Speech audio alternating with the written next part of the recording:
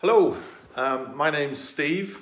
Um, my very good friend Mike Hurst asked me to share some thoughts um, with you all around leadership during lockdown and uh, perhaps what I've learnt um, during this time really. So uh, to give you some context, I work in the leisure industry um, and I've done leadership roles and management roles for 32 years. Yes, I know I don't look old enough, but uh, it's true.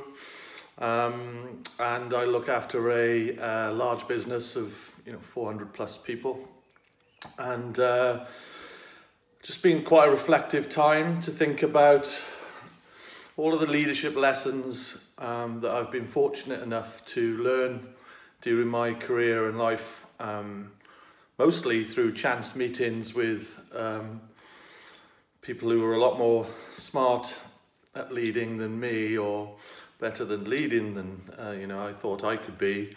But um, certainly through being uh, interested in um, what is the right way and best way to get uh, the most out of people who work for you so and with you.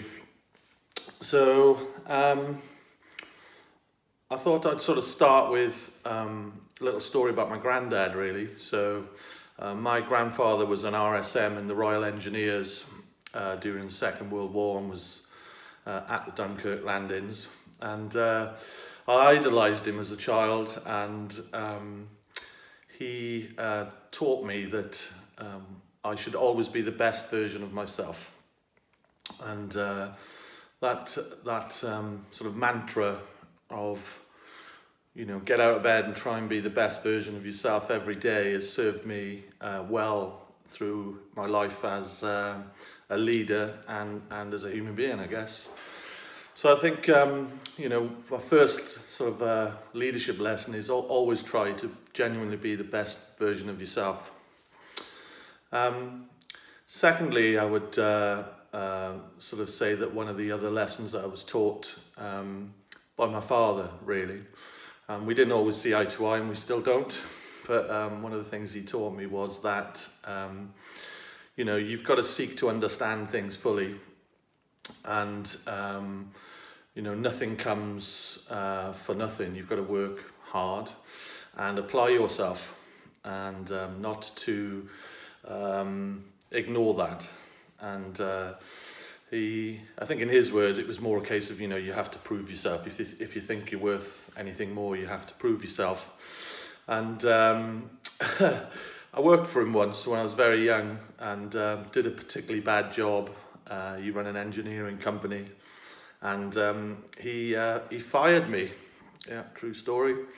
And um, sent me home and um, he was probably right to fire me. I was moaning about how bad the work was and that you know I, I, could, I could do better. And I think his sort of parting shot was, you know, if you could think you could do better, you know, go ahead and prove that. And then fired me. And uh, subsequently, I couldn't pay my mum, my mum, uh, the housekeeping money uh, to live at home. And um, he was very frustrated with that. And um, I very quickly learned that um, you know you have to uh, make sure in, in life and in leadership that you take responsibility for your actions and not to moan about things but to find solutions. So uh, that was quite an interesting life lesson. So I think on reflection I would say that you know you, you've got to seek always seek solutions and um, spend quality time focused on what you can do, not what you can't do, things that were in your influence and sphere of control.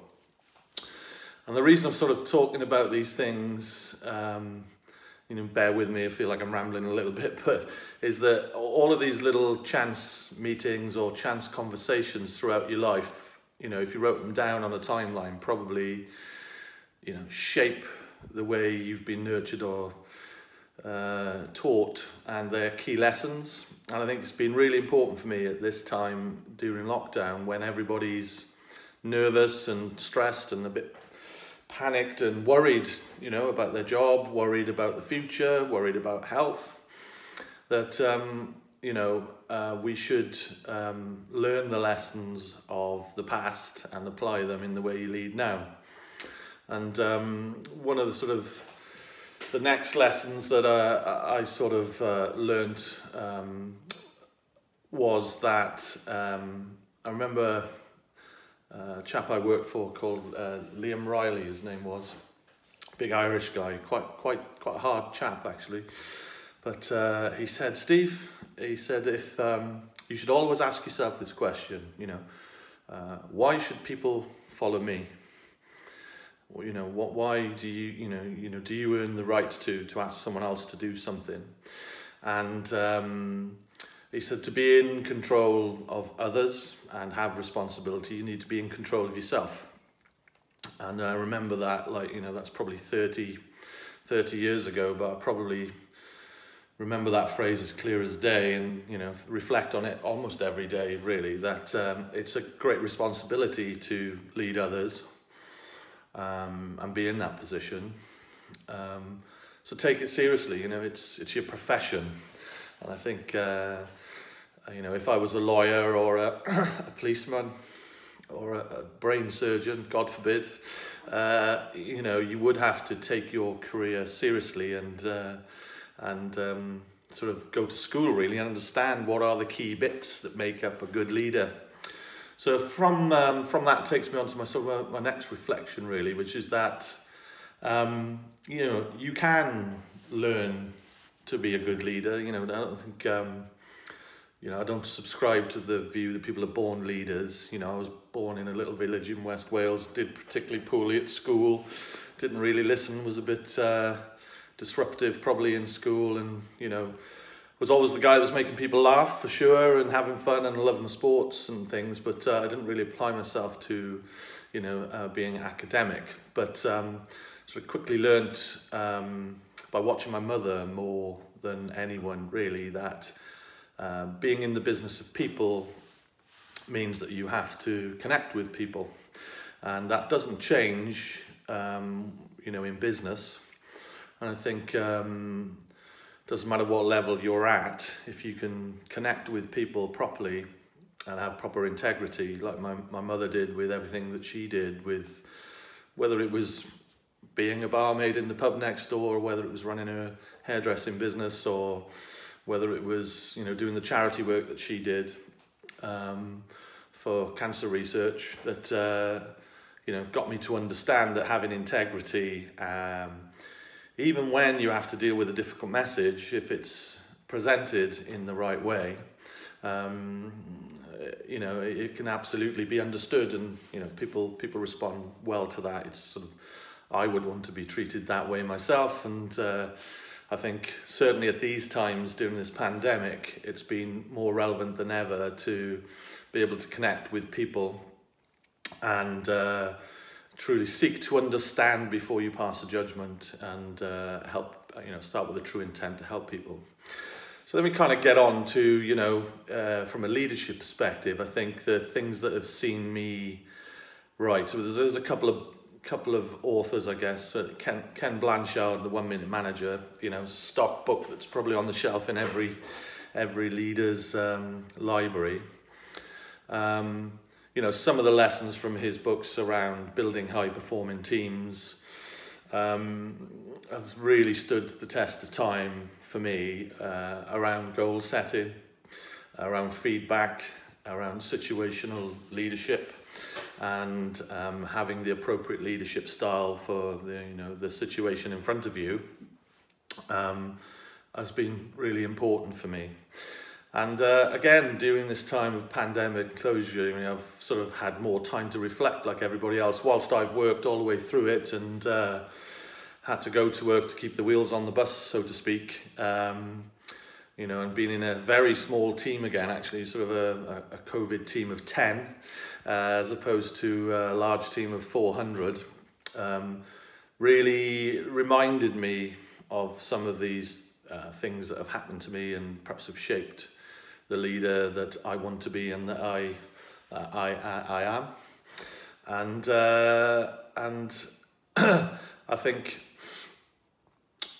whilst it would have been very easy in a small team to try and do everything and you know be the expert again and um, all of those things, I think it's been a huge opportunity to continue to lead through others and inspire um, some other people to have a ticket to play and you know learn things that um, are good for them uh, and good for the business. So um, I'm lucky enough to work in a really great business that uh, treat their people very well and give us the freedom to operate as leaders, uh, which you know I, I am very thankful for. But uh, there have been times when I haven't worked in businesses that have had values uh, and beliefs that um, have helped me be the best version of myself, uh, to use my granddad's words uh, whilst at work, but uh, the business I'm in at present affords me that opportunity. And um, I would say that I think it's still been relevant to set goals, give feedback, to coach, to um, develop others and develop future talent. It's still been relevant to be uh, high challenge but high support um, you know, the situation has demanded that. So certainly there have been times, you know, where I think you, you, you do have to be quite clear about what it is you want, but um, you can do that in a support, supportive uh, way. And, uh, you know, it's sort of my observation that people really appreciate and grow as a result of that. Um, so, and I think uh, the other thing for me that's been very relevant is in the reflection time um, during COVID and leading is that setting personal goals um, is equally as important as setting professional goals. And um, uh, you might see another little video on the sort of arts channel on here soon of me playing guitar but um, badly probably one of my my personal goals um, a few years back uh, following my divorce was to pick the guitar up again because I'd played from the age of nine through till about um, the age of um, 30 and gave up for ooh, 18 years. Um, picked it back up again about four years ago and had forgotten how to play it. And um, uh, had to write some goals about how I was going to do that um, in terms of, um, you know, how to learn the basics, uh, and then uh, watch others play and seek to understand the methodology uh, and expand that. Uh, and um, that I play now in a, you know, just for, for fun and do some charity gigs and things, but I play in a, a sort of covers rock band um, called Strange Formation. And uh, that's been a great release uh, during these stressful times. Music the arts, dancing, TV, whatever it is you, you like to do. I think it's important in, in uh, your leadership life and personal life to find the time uh, to um, you know, ha have a passion outside of doing a job. Um, yeah, do your job well, but don't let it dominate all of your thinking. I think some of my best thinkings come while I'm trying to learn a blues solo in B minor, maybe. Um, so I sort of say my reflections uh, uh, through this time is that uh, I've been lucky enough to work with some great people that have shared their stories with me or some little nuggets or phrases or statements which have triggered me to think about what that means to me. I'd ask us all the same question really is, you know, are you doing that for the next generation? And at the age of 52 now, I spend a lot of time reflecting and thinking about you know, I've been lucky enough to learn those lessons because I've worked around great people over the years. And actually, sometimes I've learned lessons from people that weren't so great uh, in terms of how not to do things, but they're all lessons and they're all relevant. And, and I think uh, what would be great is if uh, coming out of lockdown, people take the time to reflect on what's happened and uh, continue to story tell and pass on top tips and uh, ways of thinking and um, how to improve yourself because I think everyone's got a story. You know, you don't you don't have to be lucky. You can make your own luck. I think that's genuinely um, something that you know all of us can, can can get on with, and you know, work hard to make our own luck. And uh, I think um, really important to help the next generation along. And what can we learn from this? So whilst the landscape for business is going to be tougher.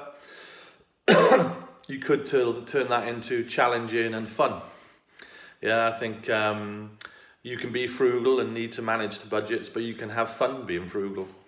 Uh, uh, you know, it really, it's sort of how do you change it up and change your thinking to a bit more of a positive slant. So, so look, you know, I don't know if any of what I've said is going to be of any help or interest to you, but um, you know, uh, I hope it is. And if you like, you know, push the like button, and I come back and tell you some more rambling stories, or maybe play a bit of guitar for you.